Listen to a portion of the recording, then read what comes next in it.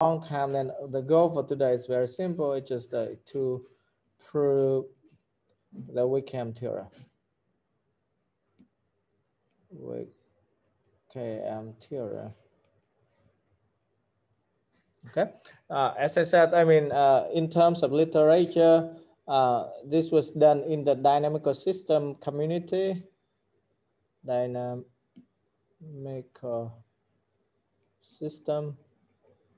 This was done by Albert Fathi.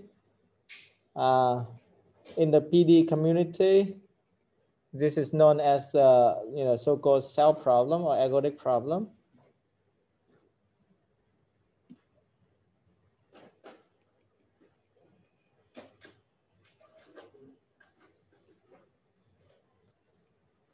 And this was done earlier. I mean, without the dynamical aspect.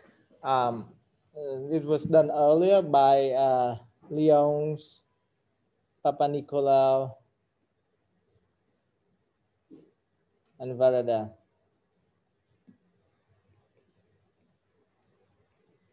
Okay. And you can see that the statement so far of the weak KAM theorem at this moment is not precisely like uh, what we had in our mind earlier. Um, uh, in hopefully in the next lecture, I will make sure that you know this uh, uh, this consistent with exactly what we we described the weak KAM theorem earlier. But for now, first, uh, you know, the theorem, the main theorem for today is is going to be that there exists a function u minus that is Lipschitz, continuous or Lipschitz. It doesn't matter such that uh, under the semi-group, uh, you know, TTU minus, uh, TT minus of U minus plus uh, constant C0 of T equals to U minus for all T greater than equal to zero. Okay. And that's, that's a weak KAM theorem stated in, in a, a bit different way. Um, and as you have seen, I mean, uh, so, uh, you know, we stated it earlier in a different way, but but I'll I'll try to uh, connect the dots and we are on the same page uh, in the next lecture. For for today, let's just prove it. Okay. Um, so let's let's prove this theorem, and this is sort of essentially a fixed point theorem, right? Saying that you can find u minus, which is a nice initial data, so that um, you know your problem as you run the time it's gonna be um, you know like a, a fixed point uh, theorem. Okay, so maybe uh, uh, you know so an equivalent way. I mean, we haven't proved this one, but an equivalent way would be that you can see the the Cauchy problem utxt plus h of x dux t equals to zero in the torus cross Rn and if you consider, I mean, the exists of function u minus, that if you consider initial data u minus, then uh, uh, and ut u of xt is nothing but tt minus of u minus of x, and this turns out to be, you know, the the the, the solution to this Cauchy problem to be exactly um, exactly of this uh, separable form.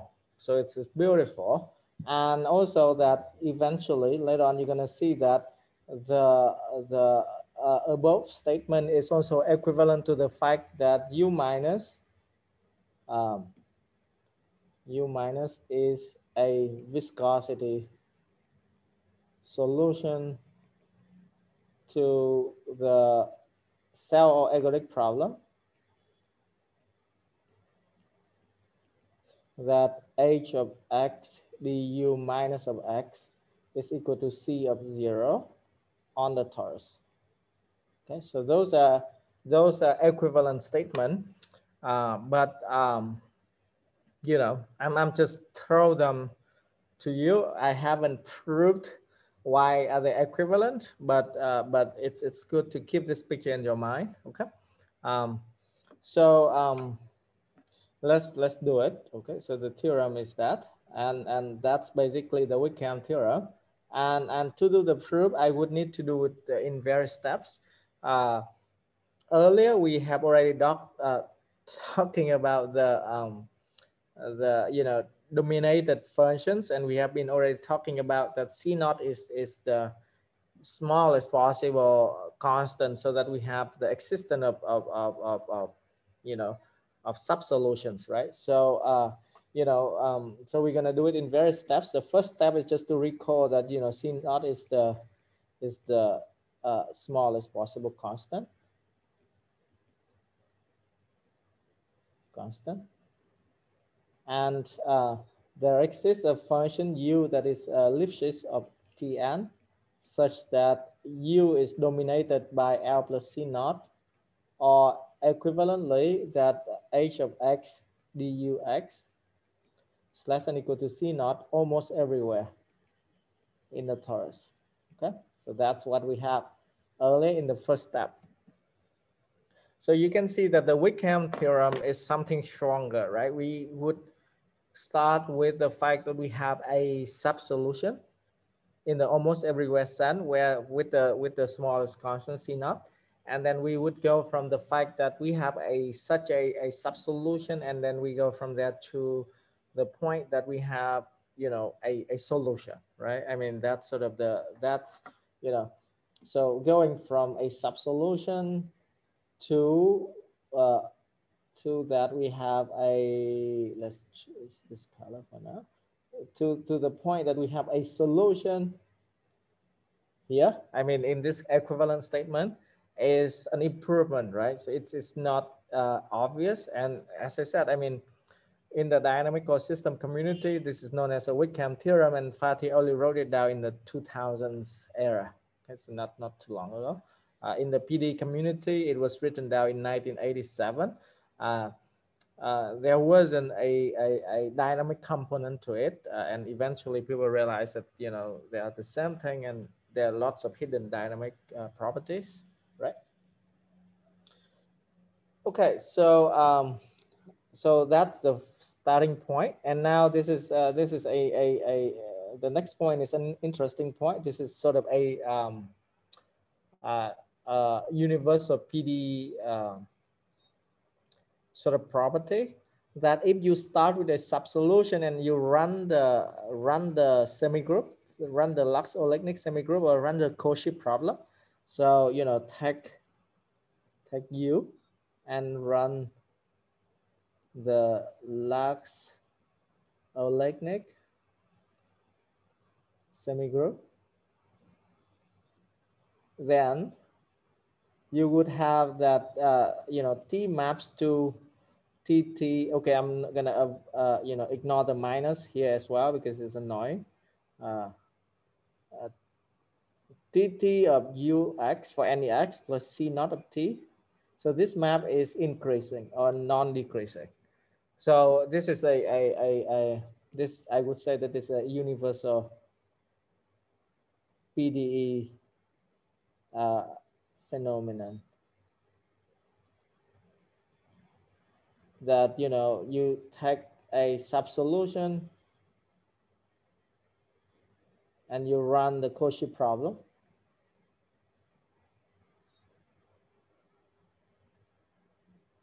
Then, you know, the UXT is increasing in time. So it's, it's really beautiful, right? It's not easy, right? It's, it's a little bit tricky. What we do is that we start with uh, the initial data, which is a sub-solution. We run the semigroup or run the Cauchy problem equivalently.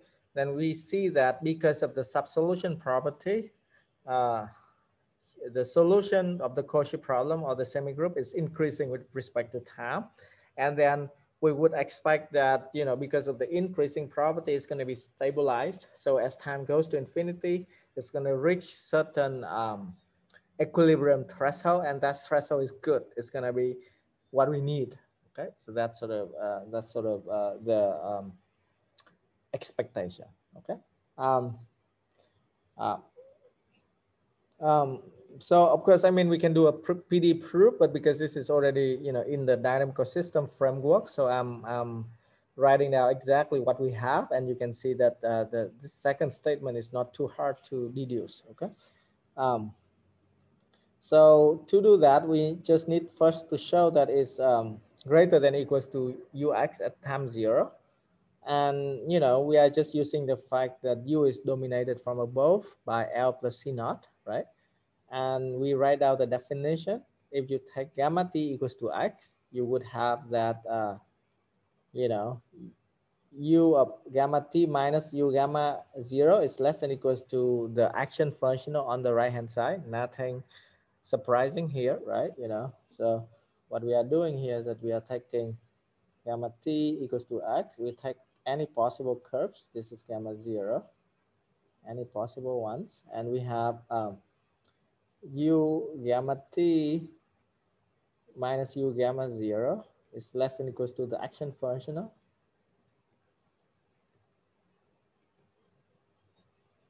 Right?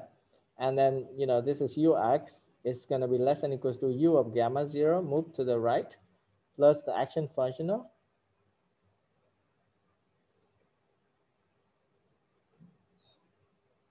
right? C naught of t is just a constant.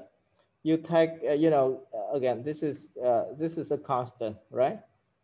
It's it's not in it's not depending on the curves or anything. Now you take inf over this over gamma. Then then then we deduce right away that ux is less than equals to, you know, tt of ux, right? Plus c naught of t right? That, that's exactly um, the definition of the Lax-Oleinik semigroup. So that's, that's that, that's beautiful. We have been able to conclude that uh,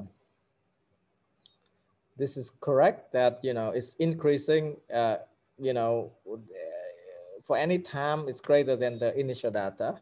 And then we use the semi-group property, you know, like naturally, if you take t prime greater than t, then you would run it for the t prime minus t time first, and then you kick the, uh, the time t in later, and you get the conclusion. So, so it's increasing or non-decreasing with respect to time. Okay, so um, again, the idea is that uh, is that you start with initial data to the Lax-Oleinik uh, semigroup. That's the sub-solution or super solution. Uh, in our case, we have a sub solution uh, and then you run it, you have that the semi-group is increasing uh, and because it's increasing, it should be stabilized. So, I mean, it should converge to something that's quite stable. And that sort of stabilized limit equilibrium is going to be exactly what we need in the end. Okay. And naturally, right, you know, you have we have t maps to uh, tt of ux plus c naught of t is non-decreasing, right? And then we, we expect that limit as t goes to infinity of this uh, semigroup is uh, is something we want. Uh, that, that's sort of the goal. Okay, in order to do so, you know, we would, uh, you know, like, uh, right, to do the analysis, it's increasing, right? And it should be um, Lipschitz, right? Uh, we already knew that if you go just a little bit in time, I mean, this was the result we proved last time, right? If you go just for sigma greater than zero, then the semi-group is equi-Lipschitz everywhere. Maybe it's not a, you know, a great color, just whatever. Um, so uh, it's, it's Lipschitz is nice, right? So it's already stabilized. However, we got to be careful, right? Because uh, we might just increase forever that it might go just blow up to infinity. So in order to prove this stabilized converging to something that we want, a natural and important step would be that we need to prove that it's bounded from above, right? So that's the third step. Okay. So the third step is corresponding to the fact that we need to prove that our semigroup is bounded from above. Um, um, there are different ways to do this. I wouldn't say that, I mean, uh, what I'm writing down here is the only one. Uh, uh, there's probably should be uh, I don't know. Um, I, I know some some other proofs, but uh, they are probably of the same degree of complications. Maybe there's something that some proofs that are simpler. I don't know, but but the proof I'm presenting here is by contradiction. Okay. So we need to show that. Uh, so we want to show that first that it's bounded. T T U X plus C naught of T is bounded, right? I mean, once it's non-decreasing and bounded, then you know it's converging to uh, an equilibrium. Um, and to do so, well, I mean, we know that um, you know, uh, in fact, because uh, as you the the starting point is Lipschitz, you know, that's one of the thing I asked you to do earlier. Uh, last, I mean, by the end of last lecture, that if you start with uh, Lipschitz initial data, then in fact, you would have the TTUX plus C naught of T is uh,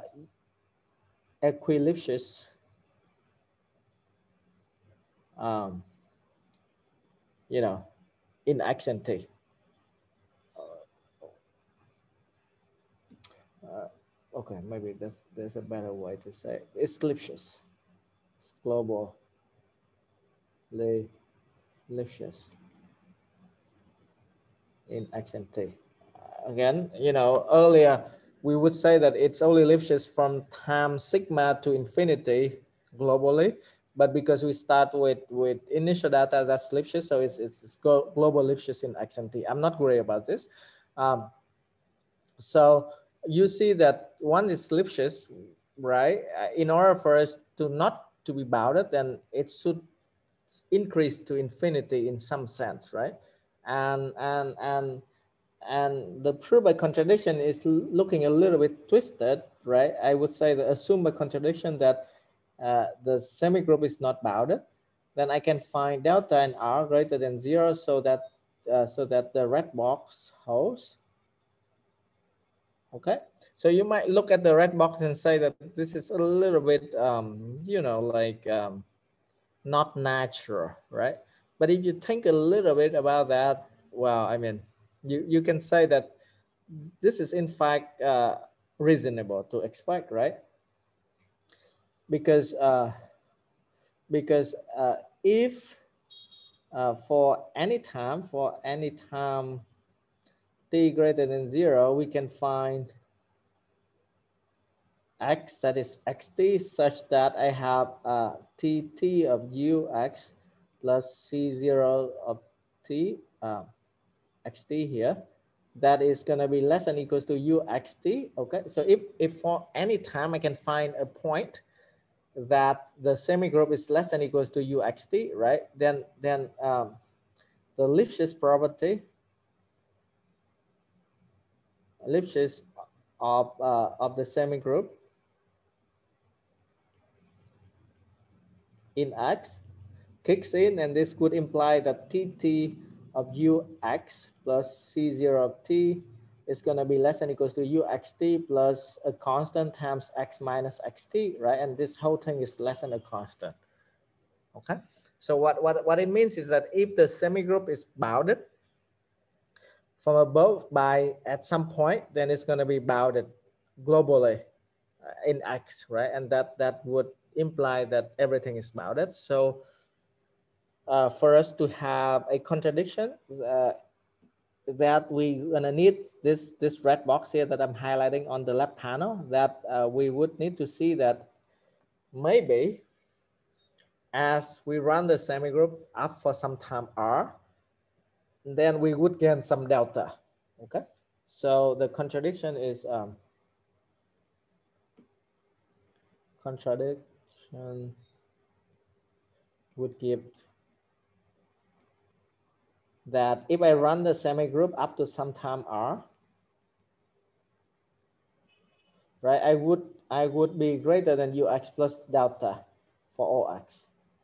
Right, so this is what I get. This is the only way for me that, you know, if I keep repeating the semigroup, then every step in R, I would gain delta and I would gain a lot of deltas when the time gets to infinity and hence uh, I, you know, the semigroup wouldn't be bounded, right? Otherwise, you know, if it's it's the above statement here, if it's this statement above here, then the semigroup would be bounded. So that's that's a that's sort of a proof by contradiction that that we have this phenomenon. Okay, and and clearly that, um, as I said also that if you have that and because of the semigroup property, you know, if you go to time r, you gain delta and you repeat it once more, right? You would gain two deltas and by by by induction. And remember that the constant can be pulled out of the of the semigroup easily, right? So so that's why by induction we have that if we go to time k times r, we would gain k times delta, right? Okay. So is, is this the same delta for every k? Yes, it's the same delta for every k. Uh, so that's a good question. You know, if it's not the same delta, then I would be, uh, I, I, I would be um, um, doomed, right? Okay, but but but but you see that this is this is already happening here, right? So I have I have this one. The left hand side is greater than the right hand side. Okay, so let me do the semigroup TR of TR UX plus C0 of R greater than equals to TR of UX plus delta. Okay, so I'm just applying the semigroup, right? Because remember that we have the um, uh, comparison principle, right? If, if the two initial deltas are comparable, I mean, one is greater than the other, then I run the semigroup, then, you know, one is still being greater than the other, okay? And um, so I run it once uh, and you see that this, this is equivalent to the fact that I have T of 2R UX, right? Uh, the constant can be pulled out. That's the point. Plus C0 times R is greater than equals to, and this thing is exactly, exactly uh, the above property, right? I can apply uh, the this, this box here. So TR UX is greater than equals to um, ux plus delta minus C0R, right? That's the ux. And then delta is just delta. This is exactly the thing that is uh, less than equal to TRUX. So rearranging things, you get exactly, exactly that uh, T2RUX plus uh, 2C0 of, or C02R minus 2 delta is greater than equals to ux. And then you keep repeating it. And this is the same r and the same delta. Right? So that's why the semi-group property is really beautiful. I said that you know, earlier when we look at the semi-group property, we look at the comparison principles, everything things everything look like, you know, uh, quite simple. But in a way, you can think of it, this one is like, uh, uh, I don't know. It's um, I was about to say something, but anyway, okay, fine. Let let let let's not get distracted. This is exactly that, okay? And then uh, once I can repeat it multiple amount of times, and I keep gaining, gaining, gaining more and more deltas, and that's sort of like reasonable when and why that uh, as the time goes to infinity, the semi-group is not bounded, right? So thanks a lot for the question. And that's really important. If I take different R's and different deltas for each of the step, then I wouldn't be able to get to something going to infinity. I see. Thank you. Okay, thanks. Um, sometimes if I hold the pencil out a lot, then it sort of loses signal or something. All right. So um, great. Uh, and you know, this is somehow related to the proof of ergodicity or proof of Fekete lemmas or something, you know, like whatever. I mean, but I guess that is it's a natural proof anyway.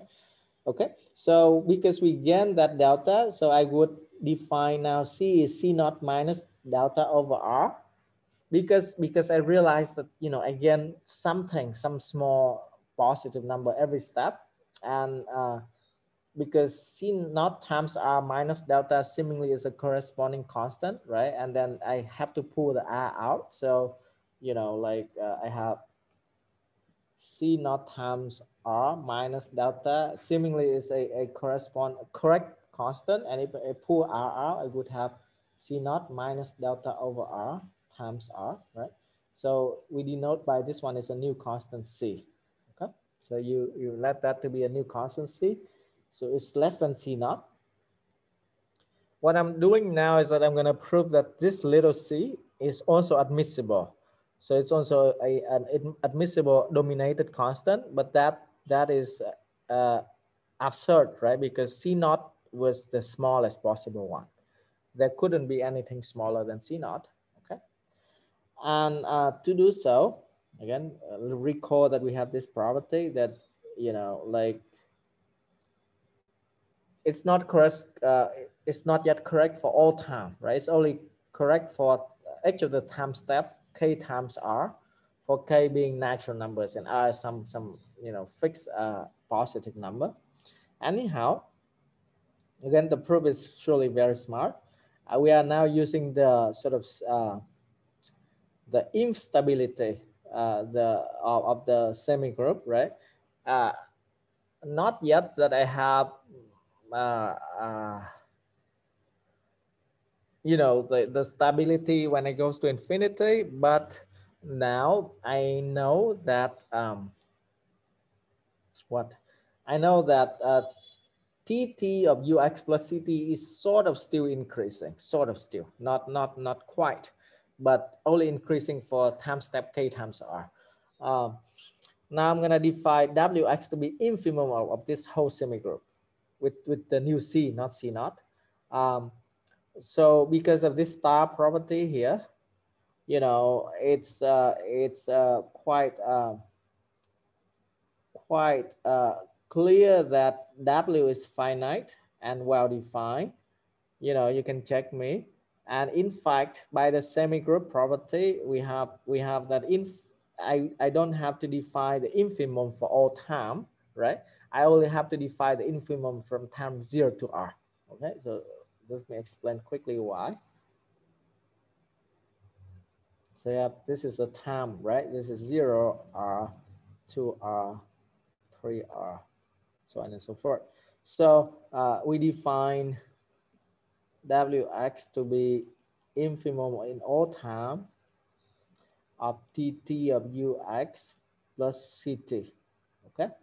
We have shown that uh, you know, going in, in, in the time step zero R, two R, three R, we got that uh, uh, Ux is less than equals to T of KR of Ux plus C of KR, right? So clearly that if this at U uh, at zero is less than the initial data at KR, right? Then you run the semi group again from, from, from that time, right? So this would imply that T uh, TT of UX plus uh, CR is going to be less than equals to T T plus KR of UX plus uh, C of KR plus T. I think this would be T. Right? Because you, you just run the same group again, again. That's still the comparison principle. Okay, so that meant that that because you know it's increasing, this one, this piece is going to be greater than the the first piece, right, from zero to r, and you know uh, other pieces afterwards, this piece and other pieces afterwards is also greater than the the initial piece of time from zero to r. So clearly that although we define w to be infimum in all time, but only the first time from zero to r matters, right? Only this this first uh, amount of time matters and that's much better right? Because although we define the infimum for the whole family i mean for all time but it turns out that just equals to the infimum for the time from zero to r okay? So that's that's the explanation. And i said here that surely w is lipschitz. You check me and that's exactly what i asked you to do in the last uh, uh, last part, uh, last time, right? If you start with U, which is already Lipschitz, then the semigroup is, is always Lipschitz. And now I claim that W is bounded, dominated from above by L plus C. Because once I have that, I'm done. Because uh, W is dominated from above by L plus C. Um, Uh, and that means that C is admissible, but C is less than C naught. C naught is the smallest admissible constant, hence the contradiction, okay?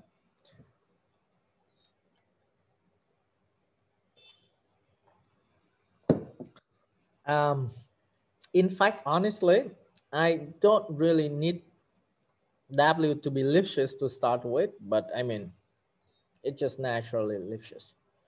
Any question for me up to this point? Uh, is it a beginning? Can you go back to the equation where you set the separable um, uxt? Yeah. Yeah. Sure. Was that the, like a sign mistake over there? Because ut plus x is c naught. Oh yeah, yeah, yeah, yeah, sure. It's a minus f. Yeah, thank you. Yes, absolutely. Yeah, should be the uh, u minus x minus c zero t. Absolutely. Thank you. Is it exactly what what what what you Yes. said? Yes. Okay. thank you. Thank you. Yeah. Um. Right. Yeah, I'm sorry that you know there are too many minuses here floating around, so I'm I'm also confused with myself. Uh, I'm trying to respect Fathi in the fact that he's saying that this is sort of like backward or uh, weak KAM solution of negative type, and then he put you know, sort of you know minuses everywhere. Um, okay, so great. Um, okay, so I am I am here in in in the third step uh, that we have already defined W is well defined, Lipschitz and everything. And now I'm going to use inf stability. And you see, I mean, again, this inf stability is amazing. It's it's natural for the first order equation, not not natural for the second order ones. So let's prove it. Um, what do we have? So um, I'm just running the semi-group property. Uh, so in fact, I'll, I'll mention to you. Uh, W dominated uh, by L plus C is equivalent to the fact that W is uh, less than equals to the semi-group for any time, actually. Um, I'll, I'll just mention it soon, but let, let me just do the proof and then I'll mention it to you why. It's already hidden in the definition anyway, right? So um, that's another beauty of considering the semi-group. Um, you know, you just you just look into what is the DS acting on W plus CS, right? So the semi-group of W. And you write out the definition, right, uh, of, of W is, is the infimum of this family. And because of the inf stability, we can pull the inf out. We can take the infimum out. So it just, you know, inf of, of t greater than zero of inside is, uh, inside here is uh, t of s plus t acting on ux uh, plus c of s plus t. But inside here, you know, like the thing inside here, it just, you know, a piece of w, right? I mean, w is infimum everything. And, and, and each of the thing inside here is greater than w. And then you take inf outside, it's just inf of a subfamily, right? So all in all, the whole thing is greater than equals to w. And that's it. So what it meant is that, you know, W is always less than, than, less than equals to your semigroup. And because of that, W is dominated from above by L plus C. And we concluded that C is less than the, the smallest possible one. And that's the contradiction. Okay, so that's, that's the third step. So let me, let me, um, let me re just, just recall this one so that you are comfortable with that. So W is less than equals to uh, is dominated from above by L plus C. This is equivalent to in the PD language is H of X. dW is less than equals to C almost everywhere in the torus, right? That's the first thing. And today we see the second thing is that this is equivalent to the fact that uh, W of X is uh, less than equals to the semigroup. T, T, there's a minus, but I'm, I'm, I'm omitting it. for OT. Right, so uh, just run the semi-group. Um, and that's a natural one, right? Because uh, uh, you know, so uh, so recall that uh, change the color. So the recall that the first thing here is equivalent to the fact that you have uh, W of gamma T minus W of gamma zero is less than equals to the action, right? Plus CT. And this is equivalent to W of X for gamma T equals to X less than equals to uh, W of gamma zero plus integral from zero to T L of gamma gamma dot ds plus CT. And you know, this is exactly the same. Like the first step we proved this is a constant. And you take um, inf over gamma.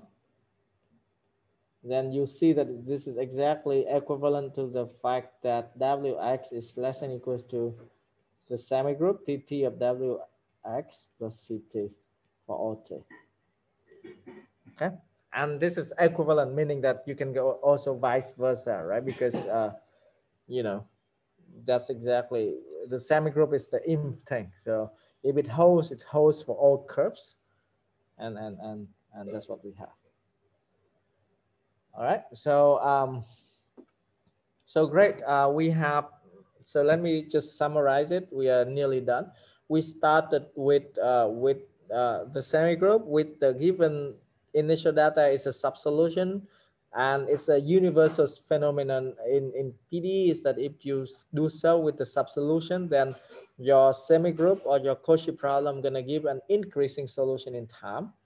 Then we have proved uh, that uh, although they are increasing, but they are bounded from above universally right? And because they are bounded from above and equi-Lipschitz, you can see that uh, they converge in a uniform way to to to a limiting function, right? And and and and that's exactly step four. There's nothing here, so I take this one. It's they converge uh, uniformly to u minus, and remember that remember that the global Lipschitz property here is important. Um, because we can just conclude that um, they converge globally, right? Of course, uh, of course, um, you can also use the Helly theorem here, right? If, uh, by the Helly theorem, I forgot, is it Helly selection theorem or Helly's theorem? If you have a sequence of increasing or decreasing functions, and if if your space is compact and stuff like that, then you have that uh, you have to be careful. But uh, but if if they converge to something and given some conditions, then they're going to converge uniformly. Uh, however, you know we don't we don't really need to use the Helly selection theorem here because we have everything is equi-Lipschitz. So you can just use the normal Arzelà-Ascoli theorem. So they converge uniformly in an increasing way to U minus. And this is why also global Lipschitz property is important. If you only have local property, then sometimes uh, studying last time behavior is hard. You know, some of you here are working on, on uh, you know, uh, on, on problems that if, you know, if you don't have uh, global Lipschitz properties, then you might not have uh, last time behavior actually. So this is in a nutshell, this is sort of a last time behavior result, right? We have proved that, uh, you know, given some specific initial data, that's a subsolution. We have proved that the semi-group or the Cauchy problem converge to, to, uh, to a solution at infinity. So it's an equilibrium, right? Uh, and eventually, let me conclude and we have a little bit of time for discussion. We conclude that this limit satisfying uh, this the the um, uh, the uh, you know equilibrium property uh, so or it's a fixed point theorem whatever that meant. So you have that uh, the the semigroup acting on u minus is exactly u minus. And you know uh, there were two equivalent uh, characterizations that I wrote up there. Um, okay? And I claim that this is easy. This is easy, why? Because it's already stabilized, remember, okay? Uh, it's in converges uh, increasingly to something and this something is really stable already, right? It, it's, it's, it's, I don't know how to put it, but it's sort of through a process that, you know, there's absolutely no change or no oscillation. And, and, and you could see it directly because of the, you know, of, of, of, of, of the, of the limit here, right? Because if you take any, okay, maybe the best way just to look at the proof and you see what I meant by stabilize here. If you take any time s, you take the semi-group acting of time s on the limit, and you can just write out right this the time s acting on the semi-group and and you um um what uh, u minus is being written explicitly in terms of this limit right so because u minus is the limit of of of, of, of, of a good process and because it's a semi-group right so you can put the you know TS and TT together to form TS of T, right? TS plus T. So it's equal to just, just to the limit as T goes to infinity of TS plus T, right? But remember, limit as T goes to infinity of TS plus T is just, you know, limit of this TT bar. You know, I'm just writing here, uh, I'm just writing here T bar is nothing but t plus s, right? So this one is also going to infinity. So this is what I meant by being stable, right? If you shift it a little bit in time, but the whole thing goes to infinity in time anyway, and it's already the unique limit when it goes in time to infinity. So it's still exactly uh, u minus of x. And that's it. That's that's a proof for the weak KAM theorem. Okay. Um, so the key point, I, let, let me just make a remark. So remark is that the key point here is that is that I have t t of uh, ux plus ct already uh, c naught t already converged to um, to u uh, u minus of x anyway, right? So if I take uh, uh,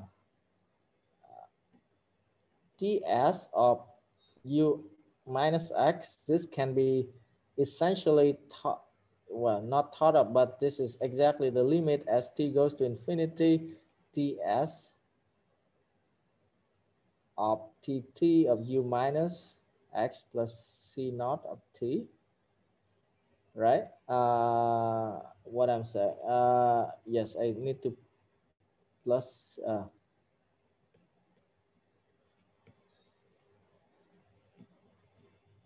ts u minus x plus c naught of s, right? Plus c naught of s. But you know, the whole thing is that you can couple the time here and here together. And this is essentially equals to ts plus t of u hmm. minus x plus c naught of t plus s, right? And this is just like the limit as t plus s goes to infinity and this is exactly u minus of x anyway. It's still the same limit, and that's why it's the limit is quite stable under under the semi group. It's the same semi group, so that's why it's stable. And that's it for today. Um, you know, um, uh, as I said, I mean, uh, at this moment, if you have time over the weekend, you can watch Fathi's ICM talk in 2014 uh, that's exactly about this weak KAM theorem. Um, you know, that's that's a, a big achievement. It's uh, it's uh, to my view, it's a sort of well-posedness point, saying that hey, now I have this sort of like existent theory for the weak KAM theorem, or you know whatever, or you know in an equivalent way to a uh, to the stationary problem, or you can say that okay, this um, Cauchy problem has a good step separable solution. So that's a well-posedness result. And then one has to go deeper to dig deeper and understand deeper about the dynamic, but it's a good start. Um, any questions or concerns or discussion with me?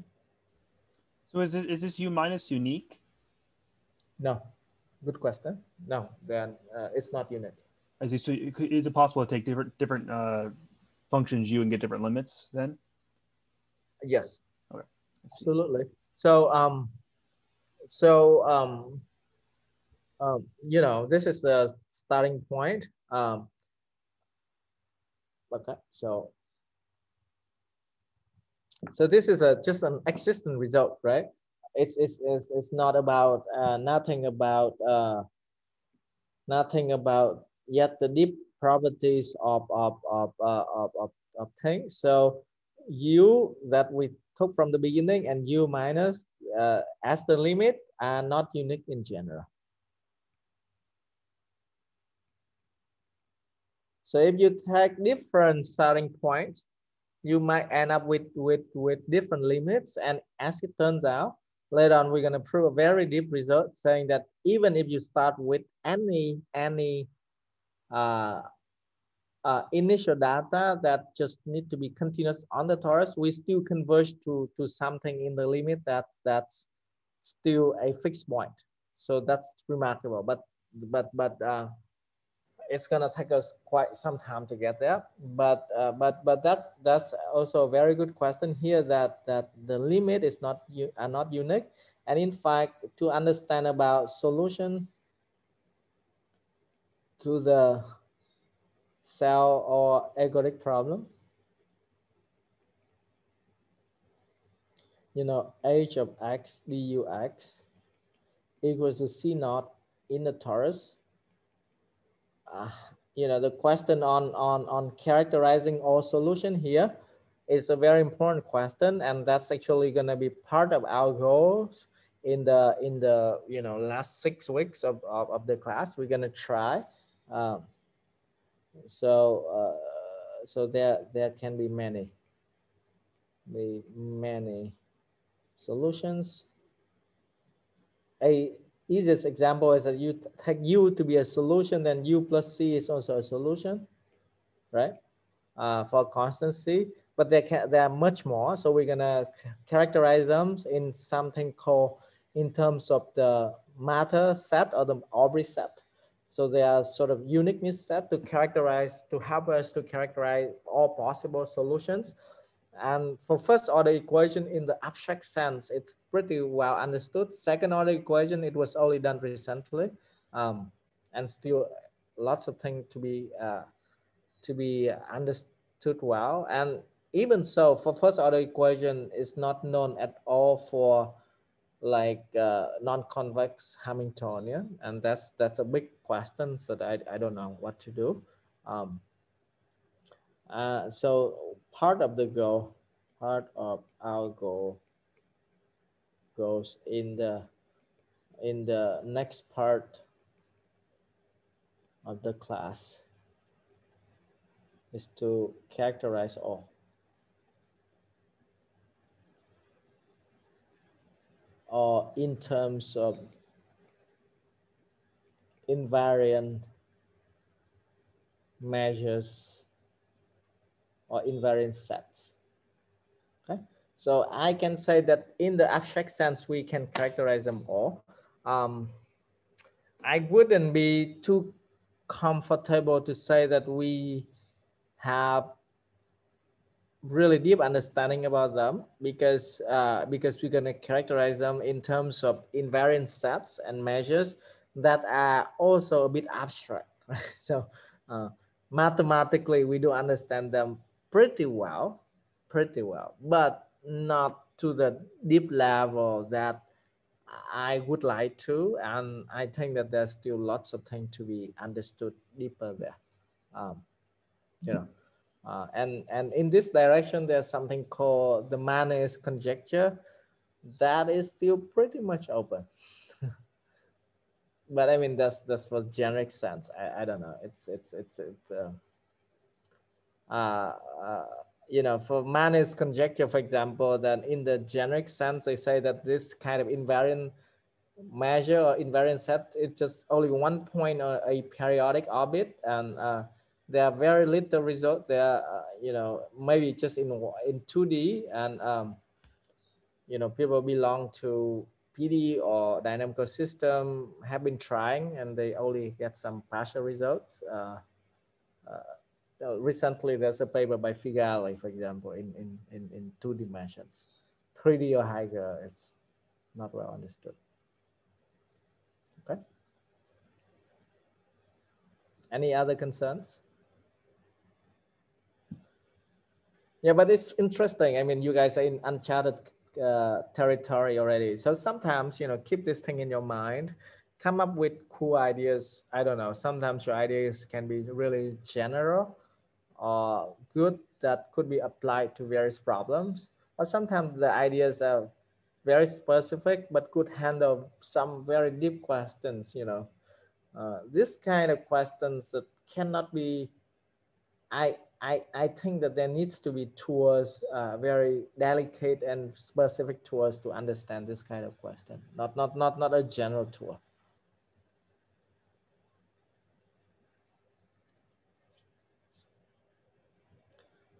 Okay, uh, so uh, if there's no further question, then thank you all, and then I'll see you uh, on Monday, and we try to do a bit more on uh, maybe another proof of the weak KAM theorem, and then try to, you know, connect the dot. Why did I state the weak KAM theorem this way, and is it really equivalent to the earlier form? So I'll, I'll connect the dots and tell you that hidden here in this sort of like framework of the um, hidden here in the framework of the of the semi group is already the um, uh, the uh, the backward characteristics or the calibrated curves going from minus infinity to zero. Right? It's it's not clear here, but you can see that it's clear in the sense that you have your semi group go from grows from zero to infinity, right? And that's going to help us to create the calibrated curves correspondingly. Right. So see you soon, and hopefully that everyone is staying well, uh, safe and healthy, and uh, you know, uh, be aware of your surrounding, of certain crisis. Also, I don't know. Um, there are lots of turbulences out there, so I don't know what to say, but uh, yes. Um, don't get too much upset about those right? So see you later. Bye. Thank you.